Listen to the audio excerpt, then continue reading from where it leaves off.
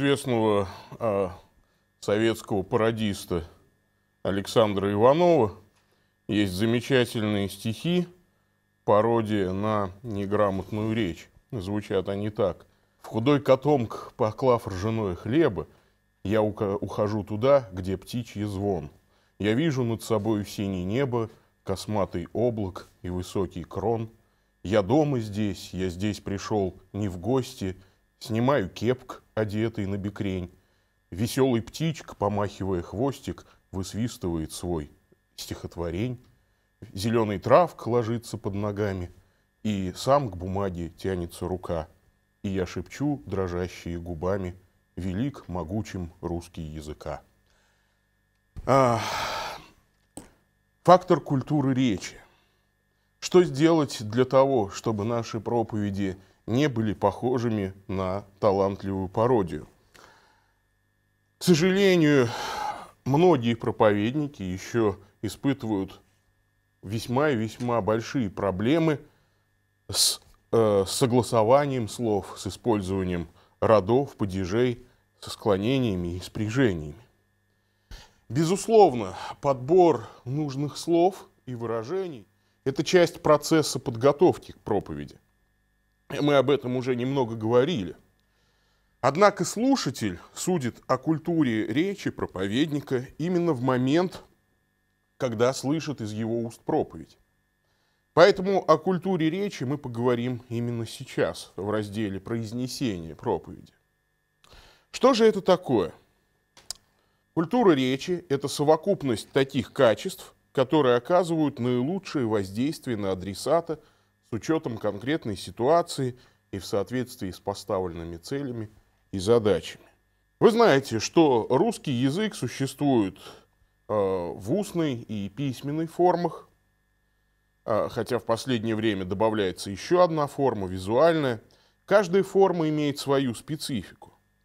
Письменная речь обычно обращена к отсутствующим, а устная предполагает наличие слушателей. Поэтому, когда вы пишете свою проповедь, вы должны делать это в форме устной речи. Это непросто, но к этому можно привыкнуть. Но ваша устная речь должна обладать целым рядом достоинств. Литературный язык – это форма национального языка, и основу культуры речи. Литературный язык обслуживает различные сферы человеческой деятельности, в том числе и проповедническую. Пешковский писал, умение говорить – это то смазочное масло, которое необходимо для всякой культурно-государственной машины, и без которого она просто остановилась бы. Если для общения людей вообще необходим язык, то для культурного общения необходим как бы язык в квадрате. Язык, культивируемый как особое искусство. Язык нормативный. Почему нужно говорить правильно? Почему нужно соблюдать культуру речи? Ответ прост. Человек малограмотный, человек низкой речевой культуры все равно поймет грамотную речь. А вот если проповедник будет говорить э, как-то неграмотно или некультурно, то человек интеллигентный тут же отторгнет его проповедь, просто не примет Божьи вести, Божьи истины. Именно поэтому каждому проповеднику необходимо повышать культуру своей речи. К культуре речи мы с вами отнесем следующие факторы. Мы поговорим о точности, ясности речи.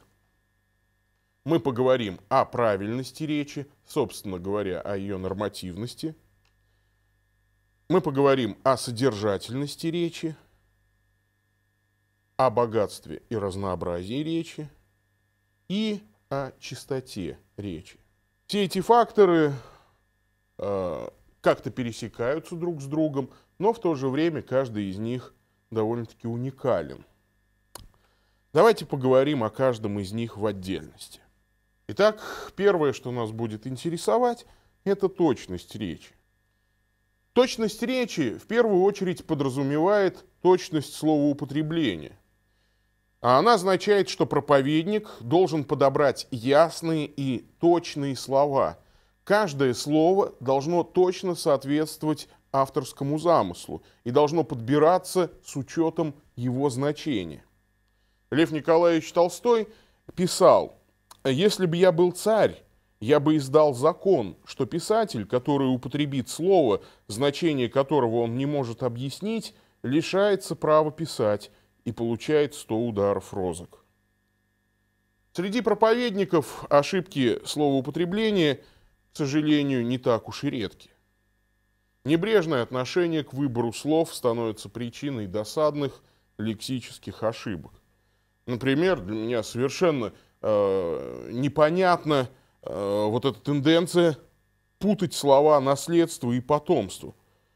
Я слышал фразу «У Якова родилось многочисленное наследство» – 12 сыновей.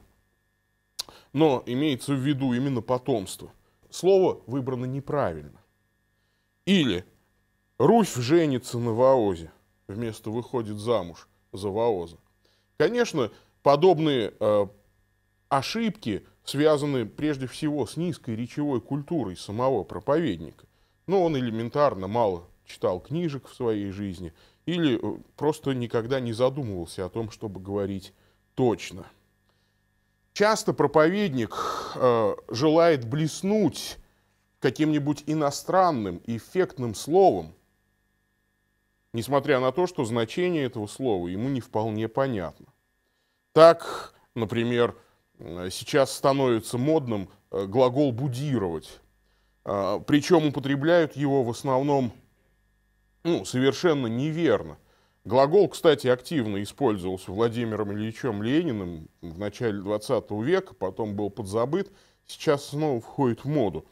Но глагол «будировать» означает обижаться, дуться – Э, хотя его чаще всего употребляют в значении побуждать, делать какой-то толчок, будить. Ну или, например, глагол «манкировать». Я много раз слышал, что его употребляют в значении «шантажировать», хотя его истинное значение «пренебрегать» или «небрежно относиться». К неправильному выбору слов могут быть отнесены и такие речевые ошибки, как «костер все больше и больше распалялся». Э, слова похожи, распалялся и разгорался. Но в данном случае невозможно употребить глагол распалялся, нужно употребить глагол разгорался. Дело в том, что русский язык довольно консервативен. Распаляться – это слово совершенно с другим значением. Никак не может быть употреблено по отношению к костру. Будировать, монтировать, экспозиционное – эти и множество других сложных слов иноязычного происхождения – часто имеют совсем не то значение, которое им придают наши современные проповедники. Часто неясность в словоупотреблении а, возникает при неверном использовании многозначных слов. Например, он уже распелся.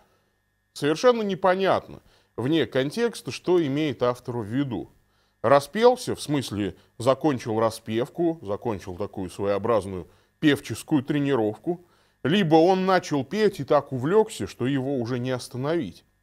В каком смысле употребляется это слово, нужно э, четко себе представлять, в зависимости от контекста. Как вам вот такая фраза, подслушанная мною э, в речи одного проповедника? «Рост христиан – заслуга Духа Святого». Что имеется в виду, совершенно непонятно. Значит ли это, что низкорослые христиане, ну, допустим, э, рост которых составляет чуть больше, чем метр пятьдесят, совершенно не имеют Духа Святого, или Дух Святой в них не работает? Понятно, что проповедник хотел сказать, скорее всего, что духовный рост христиан – это заслуга Святого Духа, или, может быть, кстати, даже он имел численный рост церквей, численный рост э, так сказать, выражающийся в количестве новообращенных. Э, к точности речи э, также нужно отнести попытки избежать ошибок в употреблении паронимов. Что такое паронимы? Паронимы – это слова, которые звучат похоже, но имеют разные значения. А, например, человек ведет праздничную жизнь, и у меня сегодня праздное настроение. Здесь, в этих двух предложениях, я намеренно сделал ошибки. Праздный и праздничный – это слова паронимы. Они похожи, но значение у них абсолютно разное. А, здесь слова нужно поменять местами. Человек ведет праздную жизнь, и настроение может быть праздничным. Праздный – это значит человек, которому нечего делать, а праздничный – связанный с праздником, с ощущением радости от праздника. Проповедник может огорошить паству неожиданным признанием – я блудил в лесу всю ночь. А, глаголы «блудил» и «блуждал» — это слова паронимы. Они похожи, но значения у них, конечно же, совершенно различны. А, блудить — это заниматься блудом, прелюбодеянием. Блуждать — это а, ходить без четкого осознания того, где ты находишься. На собрание надо одевать длинное платье. К сожалению, ситуация с этими паронимами, одевать и надевать, на мой взгляд, катастрофическая. Даже телеведущие не всегда различают эти паронимы. Хотя для меня лично это серьезный показатель уровня культуры э, человека. Э, если человек различает паронимы надевать и одевать, значит он человек культурный. Если не различает, на мой взгляд, что-то не так с этим человеком. Понятно, что э, надевать можно что-то на себя или на кого-то, а одевать можно кого-то. Поэтому если кто-то говорит мне «одень пальто», для меня это звучит так, как будто кто-то обличил мое пальто в том, что оно голое. Э, зачем мне одевать пальто? Нужно ли что-то на него еще надеть в данном случае? Ошибки в употреблении амонимов не менее коварны.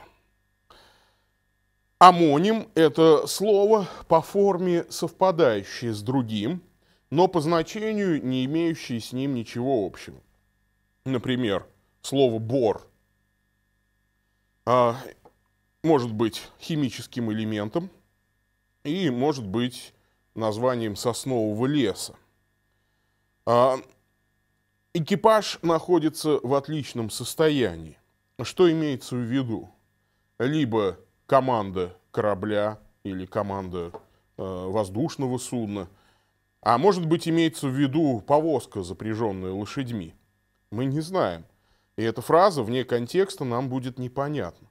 Пожалуйста, употребляйте амонимы так, чтобы всегда было понятно, что именно вы имеете в виду. Также нередки ошибки при употреблении амофонов и амоформ.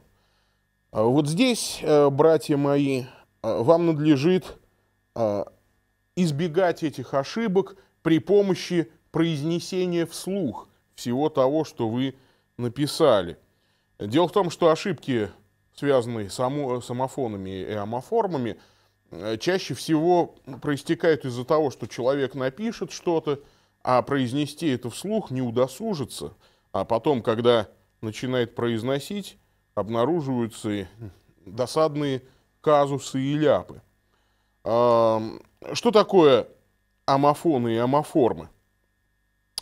А, это слова или словосочетания, совпадающие по звучанию и иногда по написанию в отдельных формах. Что означает фраза «гляди, пруд»? А, что мы подразумеваем под этим словом? Звучит это на слух а, самым разнообразным образом. Может быть, вы говорите о водоеме, который поразил ваше воображение. Может быть, вы говорите о пруте, как о ветке дерева. А может быть, пруд – это даже глагол в значении «воруют». А, и уж совсем курьезными становятся фразы иных проповедников. «Э, «Как невыносимы эти плавки», — говорил один брат. Э, по контексту, конечно, было понятно, что Он говорил о том, что Господь переплавляет нас в страданиях. И э, вот эти процессы э, плавок весьма и весьма невыносимы. Однако с кафедры вряд ли уместны подобные фразы. А, я помню одну песню христианскую, э, в которой был такой припев «Под защитой твоих крыл».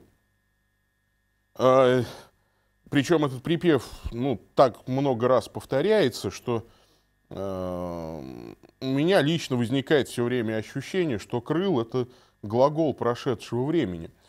А почему возникает такое ощущение? Э, ну, не думайте, что я человек не начитанный, там, малокультурный. Конечно, я прочитал довольно мало книг, но я знаю, что такое славянское неполногласие. Я знаю, что есть такие варианты. Вместо крылья говорить крыла, вместо ворот врата, вместо голова глава, вместо золота злато и так далее. Это называется неполногласие. Это литературный прием. Но он стилистически оправдан только если вы делаете стилизацию под старину, что называется. Уж если вы используете неполногласное слово «крыла», тогда и вся песня должна быть выдержана в стилистике неполногласия, в такой э, стилизации, в такой подделке под старину. Но вся песня написана современным русским языком, даже без особой образности. И э, в таком окружении, в такой стилистике славянское неполногласие торчит как шило из мешка и, конечно, воспринимается как вполне современный русский глагол прошедшего времени. Кого он крыл под защитой, совершенно непонятно. А, еще одна фраза из песни «Перестаньте рыдать матеря». Ну, надо ли говорить, что такой формы э, вообще не существует – Э, множественное число от слова «мать» — это «матери». Э, в данной же песне «матеря» — это скорее дипричастие, образованное от глагола «материть». Э, в этом смысле даже хорошая христианская песня вдруг превращается в песню с каким-то непонятным смыслом.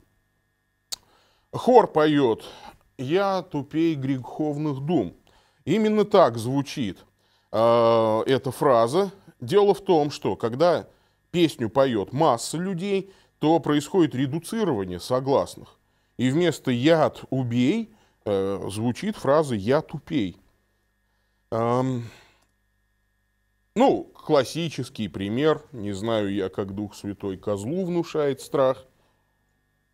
В современных э, сборниках эту фразу заменили – на фразу «к греху внушает страх», там есть, конечно, другие претензии. Дело в том, что выговорить это в принципе невозможно. Ну да ладно. Но здесь явная ошибка, связанная с употреблением амоформы. Следующую фразу я даже не рискну произнести вслух. Однако а, ее иногда произносят. А, когда вы ее напишете, она выглядит вполне, вполне прилично. Если вы ее вздумаете произнести, от приличия не останется и следа. Э, брат с кафедры много раз громогласно заявлял, да, он спас нас, говоря о Христе, забывая о том, что «о» очень часто при произнесении редуцируется в звук «у». И а, получается, что Христа он обзывал Дауном. И это слушается очень и очень, а, скажем так, двусмысленно. А, другой брат а, хотел сделать признание, да, мы грешники, но повторил эту фразу несколько раз, и звучало это так, что да, мы Э, они грешники. Ну, дамы, во-первых, грешницы, э, а во-вторых, при чем же тут дамы? Э, уж дамы и господа. В общем, вы понимаете, что я имею в виду, когда говорю об ошибках в употреблении амофонов и амоформ. К ошибкам, влияющим на точность речи, следует отнести употребление знаменательных и служебных слов без учета их семантики. Конечно, э, наверное, тут можно говорить о пуризме, таком излишнем, но, например, Дитмар Ильяшевич Розенталь советует нам все же быть осторожными с такими фразами, как «благодаря пожару, вспыхнувшему от костра, сгорел большой участок леса». Вот такой пример. Э, Дитмар Ильяшевич Розенталь э, фразу «благодаря пожару, вспыхнувшему от костра, сгорел большой участок леса» называл неверной, неточной. Дело в том, что, э, как писал Дитмар Иляшевич, в современном русском языке предлог «благодаря» сохраняет известную смысловую связь с глаголом «благодарить» и употребляется обычно лишь в тех случаях, когда говорится о причинах, вызывающих желательный результат. Благодаря чьей-нибудь помощи, поддержке. Ошибка в данном случае возникает в связи со смысловым отвлечением предлога от исходного глагола «благодарить». В этом предложении предлог «благодаря» следует заменить на один из следующих. Из-за, в результате, вследствие и так далее. Мне лично до сих пор кажется диковатой фраза типа «присвоить артисту звание народного», э, потому что, на мой взгляд, присвоить можно только себе. Само значение этого глагола «присвоить» сделать своим. Как можно присвоить кому-то, э, мне непонятно. Но, тем не менее, несмотря на такой кажущийся пуризм, э, все-таки вот такие ошибки имеют место. К э, ошибкам, влияющим на точность речи, конечно же, следует отнести выбор слов-понятий с различным основанием деления, использование конкретной и отвлеченной лексики. Э, братья мои, это довольно частая речевая ошибка. Примеры это подобных фраз. Предлагаем полное излечение алкоголиков и других заболеваний. Посмотрите, слово «алкоголики» принадлежит к конкретной лексике, а слово «заболевание» к отвлеченной. Заболевание – это более общее понятие, нежели алкоголики. Поэтому подобную фразу нужно бы изменить, подредактировать. Либо полное излечение алкоголизма – и других заболеваний, либо полное излечение алкоголиков и больных другими болезнями. Нередки также ошибки при употреблении синонимов. А, обычно это связано со стилистической окраской синонимов. Например, совершив оплошку, директор завода сразу же стал ее исправлять. У слова «ошибка» есть несколько синонимов, а, ошибка, промах, погрешность, ляп, оплошка та же и так далее. Но все эти синонимы имеют различную экспрессивную окраску, а, различную стилистическую окраску. А, в этой фразе употребление синонима «оплошка» стилистически нецелесообразно. Директор завода – лицо официальное, и он, конечно, оплошку совершить никак не может. Он может совершить только ошибку. Ну или «вчера мне было печально». Слова «печально» и «грустно» – синонимы. Но стилистически мы чувствуем, что невозможно здесь поставить слово «печально».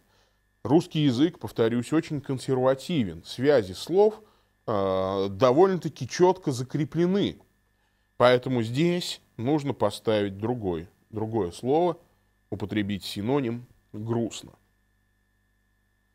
Вот что мы имеем в виду, братья, когда говорим о точности речи.